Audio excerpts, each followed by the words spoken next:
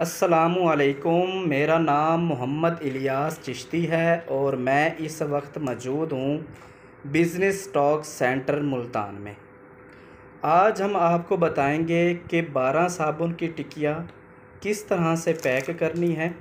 अगर आप 12 साबुन का एक बंडल बनाना चाहते हैं तो वो किस तरह बनाएँगे? साबुन सबसे पहले आपने बना लिया। जैसा कि आप ये देख रहे हैं, ये तैबाबाद सॉप है। ये पचास ग्राम की एक टिकिया है। उसके बाद साबुन बनाने के बाद आपको चाहिए एक डब्बी। आपने अगर डब्बी के अंदर फिलिंग करनी है तो वो आपकी मर्ज़ी है। अगर आपने कागज़ के अंदर पैकिंग करनी है या स्टिकर आप बनवाते हैं, उसके अंदर फिलिंग करनी है। तो उसके लिए आपको आज मैं मुकम्मल प्रोसेस बताऊँगा कि आया कि आपने अगर 12 साबुन का एक बंडल तैयार करना है तो वो कैसे तैयार करेंगे? इसका पेपर कहाँ से मिलता है? इस पेपर को, पेपर का नाम क्या है? इसको पैकिंग कैसे करते हैं? ये आज की वीडियो में इन मुकम्मल तफसील आपको बताऊँगा। अच्छा तो करना क्या है कि सबसे पहले साबुन बन गया और साबुन बनने के बाद डब्बी के अंदर पैक हो गया। बारह डब्बियाँ बनानी हैं। बारह डब्बियाँ बनाने के बाद आपने करना क्या है? आपने ये शिलिंग पेपर लेना है। ये मार्केट में मौजूद है। अवेलेबल है, इसका रेट पाँच सौ सत्तर रुपये किलो है। आपने सैज़ कर लेना है कि आपका पचास ग्राम का जो साबुन है, उसकी डबिया या रैपर कितने सैज़ में है, उस सैज़ के मुताबिक आपने इस रोल से एक शिलिंग पेपर जो है, वो कटाई कर लेना है। कटाई करने के बाद आपने देखना है कि आया कि आपके पास कलर कौन कौन से मौजूद हैं। ये कलर है ये ग्रीन कलर है, ये पिंक कलर है। उसके बाद एक वाइट कलर है। ये तीन कलर मार्केट में ज़्यादातर चलते हैं बासौब के, लेकिन हमारे पास इस टाइम दो कलर अवेलेबल हैं। ग्रीन कलर और पिंक कलर हमने दो बंडल तो तैयार कर लिए हैं। ये बंडल है। ये आप देख रहे हैं तीन और तीन छः और तीन, नौ और तीन, बारह। यानी कि ये बारह साबुन का एक बंडल हमने तैयार कर लिया है इसका मुकम्मल प्रोसेस क्या है वो मैं आपको बता देता हूँ। अगर आपका माइंड बनता है कि आया के छः साबुन ग्रीन करने हैं और छः साबुन पिंक करने हैं तो ऐसा भी किया जा सकता है। ज़्यादातर लोग क्या करते हैं? तीन साबुन पिंक तीन साबुन ग्रीन तीन साबुन येलो कलर और तीन साबुन वाइट कलर में। यानी कि ये एक फ्लेवर नुमा आपका एक बंडल बन जाता है। हाँ जी तो ये दो बंडल हमारे पास तैयार हैं और तीसरा बंडल हम तैयार करने जा रहे हैं। इसकी प्रोसेस का कंप्लीट सिस्टम मैं आपको दिखाता चलूँ कि ये शॉपर है, इसको शिलिंग शॉपर बोलते हैं, ठीक है? ये सैज़ के हिसाब से आपने कटाई कर लेना उसके बाद तीन डब्बियाँ हमने ग्रीन कलर की तैबाबाद सोप की डाल दी हैं, और तीन ये ये टोटल छः डब्बियाँ हमने डाल दी हैं। अब हमने करना क्या है कि छः डब्बियाँ ग्रीन कलर और छः डब्बियाँ हमने डालनी हैं पिंक कलर ये आप देख रहे हैं कि शीलिंग पेपर में छः डब्बियाँ हमारी ग्रीन कलर की इसके अंदर फिल हो गई हैं, और ये तीन डब्बियाँ हमारे पास पिंक कलर की इस जो है शीलिंग पेपर के अंदर हम फिल कर रहे हैं। अच्छा अब ये टोटल हमारे पास तीन तीन छः और तीन, नौ डब्बियाँ इस शीलिंग पेपर में चली गई हैं और तीन डब्बियाँ हमने मज़ीद इसके अंदर डालनी है। लें जी। अब ये हमारे पास बंडल जो बन गया है, वो है छः साबुन।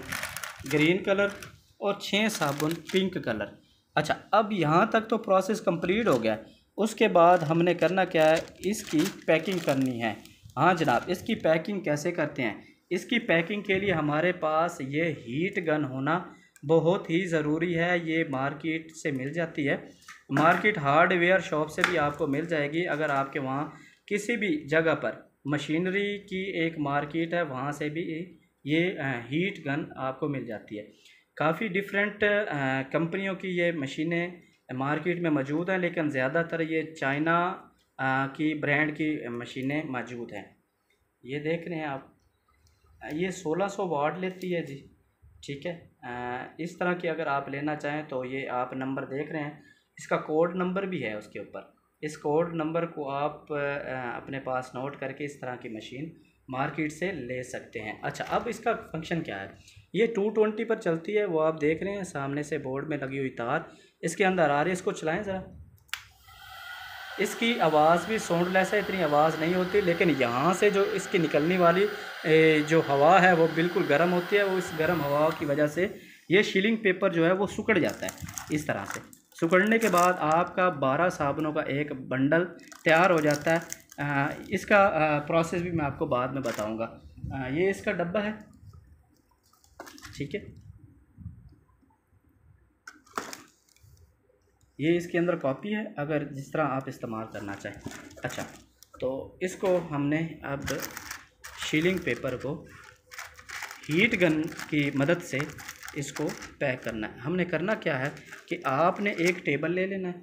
इस टेबल के ऊपर आपके पास 50 ग्राम का साबुन है 100 ग्राम का साबुन है या 150 ग्राम का साबुन है।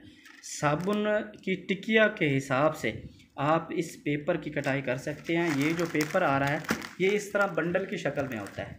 इसको शीलिंग पेपर बोलते हैं शॉपर ये मार्केट में मौजूद है। इसका दस इंच का भी रोल होता है, बारह इंच का भी रोल होता है। यानी कि जितने साइज़ का भी, छोटा या बड़ा साइज़ का अगर आपको ये पेपर चाहिए शॉपर चाहिए तो ये मार्केट में मौजूद है।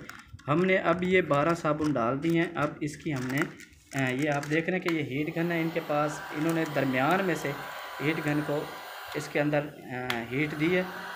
ये देखें। उसके बाद ये इधर से बंद हो गया। इसकी हीट को बढ़ाया भी जा सकता है और कम भी किया जा सकता है। अब आप ये देखें कि एक सैर से हमारा ये जो शीलिंग पेपर है, वो उसकी स्पोर्ट हमारे इन तीन साबुनों को भी आ गई है और इस तीन साबुनों को भी आ गई है। यानी कि हमारा ये जो बंडल है साबुन का, वो एक तरफ़ से इसका प्रोसेस कंप्लीट हो गया, ये दूसरी तरफ़ से बिल्कुल ओपन है। इधर से ये दरमियान में से इसको हीट गन को ये गर्म जो है हवा देंगे, ये देखिए हवा देने से ये बिल्कुल हमारा बारह साबुनों का एक बंडल तैयार हो गया है। इधर से थोड़ी सी हीट देंगे इसको।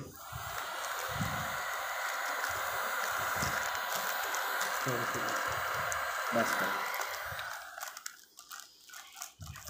लो जी। ये आप किसी भी दुकानदार के पास, चाहे दुकानदार छोटा है या बड़ा है, आपका नया ब्रांड है। आप जाते हैं फॉर एग्ज़ाम्पल एक कार्टन लेकर एक कार्टन के अंदर बहत्तर साबुन का एक कार्टन होता है या अड़तालीस पीसीस का एक कार्टन होता है। तो नया ब्रांड मार्केट में लॉन्च करने के लिए मैं तो ये रिकमेंड करूँगा कि आप इस तरह के बंडल बनाएँ। आपके पास जितने भी फ्लेवर हैं, बास सॉप के ग्रीन कलर में हैं पिंक कलर में है या वाइट कलर में है, उसको आप मिक्स भी कर सकते हैं। जैसा कि हमने ये मिक्स किया है, इसमें हमने छः पिंक कलर के डाले हैं और छः ग्रीन कलर के डाले हैं। अगर आप इसको अलहदा से छः साबुनों का एक बंडल बनाना चाहते हैं, एक ही फ्लेवर का तो इस तरह भी मुमकिन है। वो आपकी मर्ज़ी है, चाहे आप इसके अंदर तीन तीन साबुनों का फ्लेवर डाल डाल दें या छः छः साबुनों का। तो नए जो मार्केट में आते हैं, वो आदमी जो बास सौंप लेकर आते हैं। लेकिन उनका काटन मैं आपको पहले भी बता रहा था कि बहत्तर पीस के होते हैं या अड़तालीस पीस के होते हैं। तो नए ब्रांड को चलाने के लिए या नए ब्रांड को हायर करने के लिए दुकानदार जो है, वो कोशिश करते हैं कि कम पीसेस में हमारे पास साबुन जो है वो हमें मिल जाए। एक तो इसका रिज़ल्ट चेक हो जाएगा और दूसरा ये नया ब्रांड मार्केट में आया तो उसको भी हम आसानी से चला पाएँगे। तो रिकमेंड ये करता हूँ नए बाथ सोप बनाने वालों को या नए बाथ सोप बना के मार्केट करने वालों को कि वो छः, बारह बारह साबुनों का एक बंडल बनाएँ। बंडल बनाने के बाद अगर आप छोटी सी दुकान पर भी चले गए हैं तो बिल्कुल वो आसानी आपसे ये बारह साबुनों का एक बंडल लेके अपनी मार्केट को आसानी हैंडल कर सकता है। अच्छा ये वो साबुन जो बंडल बन गए, उसके बाद ये बंडल बन गया और ये बंडल बन गया।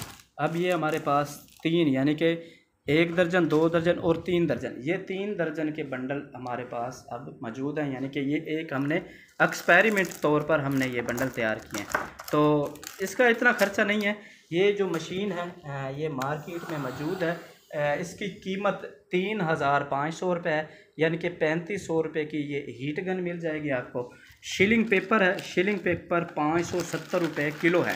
ये एक किलो का बंडल है, यानी कि अगर देखा जाए तो बहुत से साबुन, यानी कि बहुत दर्जन साबुन मैं इस शीलिंग शॉपर के ज़रिए ऐसे बंडल बना के अपनी मार्केट को आसानी से हैंडल कर सकता हूँ। तो ये आज सिलसिला था। कि एक बारह साबुनों का बंडल कैसे बनाया जाता है, इसके लिए हमें पेपर कौन सा चाहिए, हीट गन कौन सी चाहिए। तो मार्केट आप बाखूबी जानते हैं कि मार्केट में जितना कम नया प्रोडक्ट्स लेकर जाएँगे, उसकी ज़्यादा डिमांड होगी। उम्मीद करूँगा आज की वीडियोस आप लोगों को बहुत पसंद आई होगी। पसंद आई हो तो लाइक एंड शेयर ज़रूर कीजिएगा। दो में याद रखिएगा, आपका भाई, आपका दोस्त मोहम्मद इलियास चिश्ती, पाकिस्तान, जिंदाबाद।